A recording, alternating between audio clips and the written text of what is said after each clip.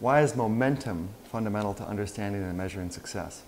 You know, when you talk about success, you talk about, you know, where you were before and where you are now, and it's sort of a measurement over a period of time. Um, for us, we've had a lot of momentum in this last year, and so I can look back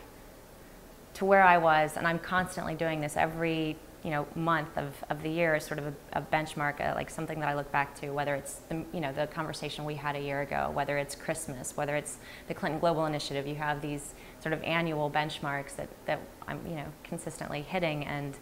um, something that I have been able to appreciate is where is over the course of the last year,